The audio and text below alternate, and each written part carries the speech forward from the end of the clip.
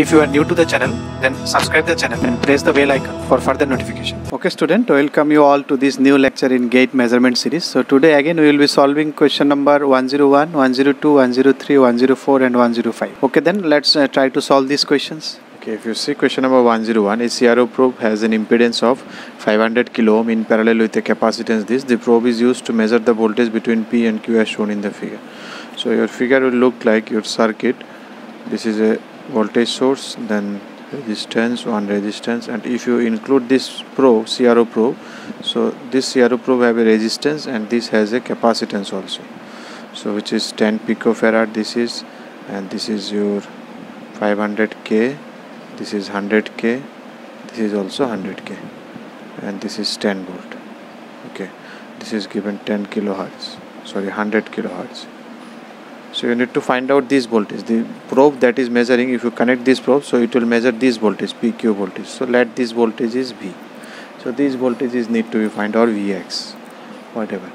So what is this capacitance will give you? This x will give you 1 by uh, j omega 2 into pi into f is here 100 into 10 to the power 3 into c. C is 10 picofarad 10 into 10 to the power minus 12 so if you do this one you will find it is minus j 159.15 kilo. So you know all these ones. You can apply simple nodal to find this voltage. You can apply anything but nodal will give you directly this voltage vx. So what was the nodal? So you, you, you take this node. So this node is the super node. So everything will come out of from it so if it is coming out of this current so it is vx minus 10 by 100 kilo then plus vx by 100 kilo this one then vx by 500 kilo then vx by minus j 159.15 kilo. So all kilo can you can eliminate all the kilos. If you take common 1000 and multiply by 1000 on both the sides so you will get the answer.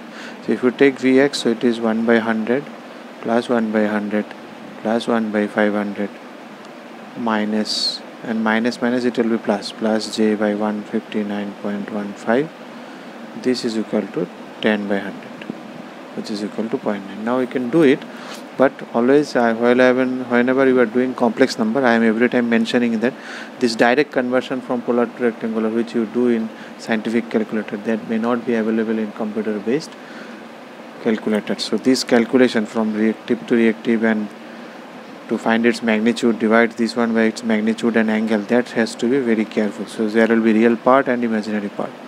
So this will create real part this will give you the imaginary part. You need only magnitude. So if you divide it you will get magnitude is 4.37 no need to calculate its angle because angle is not required. They are asking what is the voltage you will measure value. But if you measure it I am writing completely. So angle you will get around this. So your answer is 4.37 that much voltage you will measure next if you come to 102 the simultaneous application of signal xt and yt to the horizontal and vertical plates respectively of an oscilloscope produces a vertical figure of 8 display. The pq are constant. So you are giving xt and yt respectively.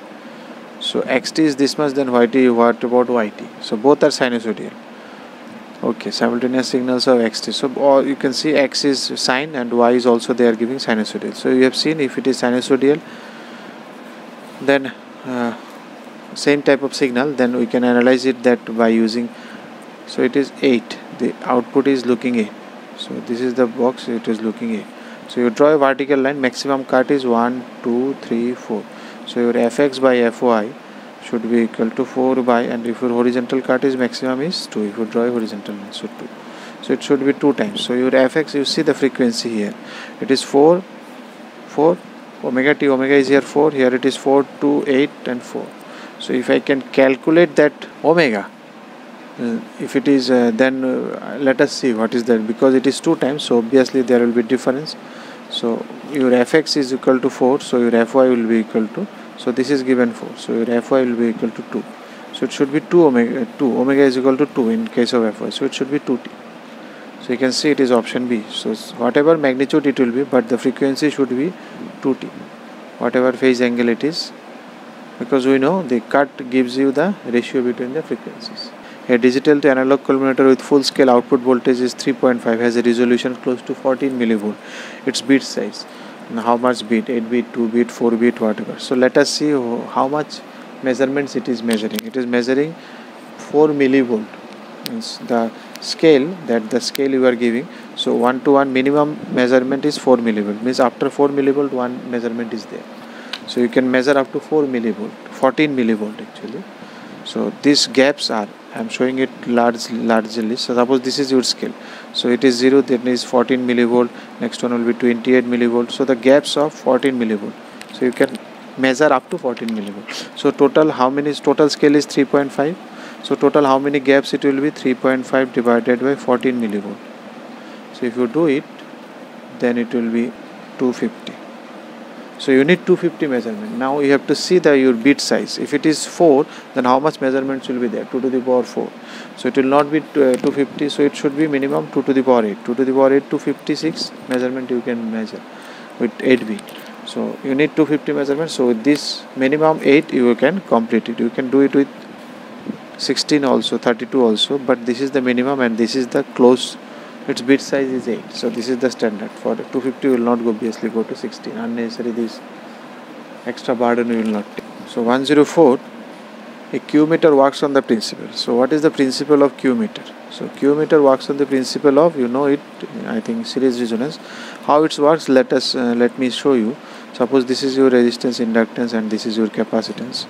So this is the voltage you are applying so in, in resonance I0 suppose it is at resonance. So what is your XL is equal to XC so if you multiply it I0 XL is equal to I0 XC that means voltage across L is equal to voltage across C. So both these voltages are equal okay.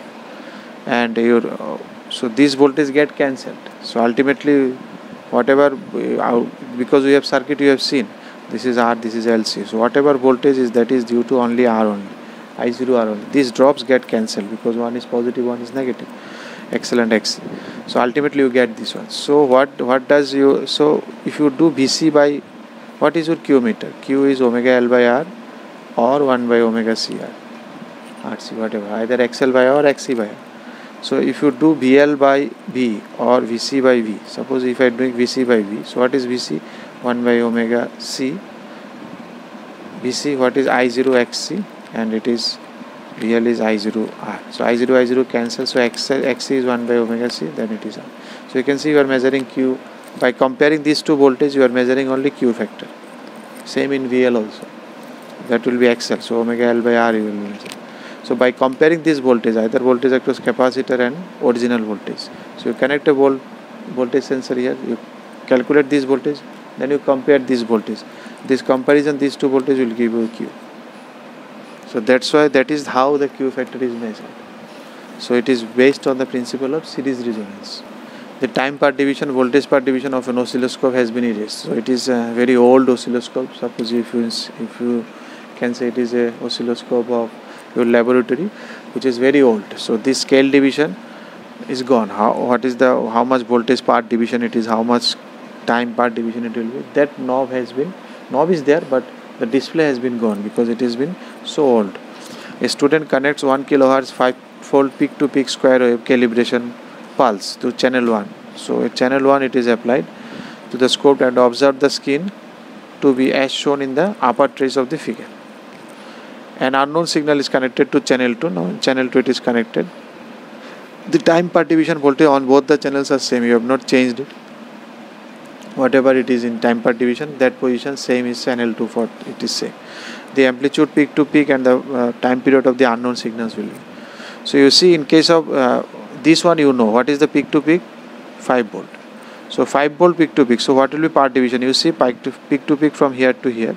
So how, how many divisions are there? It is taking two block vertical. This is my voltage axis. This is time axis. So this is 5 volt so one block represents so one block u represents one tiny block represents 5 by 2 that is 2.5 volt.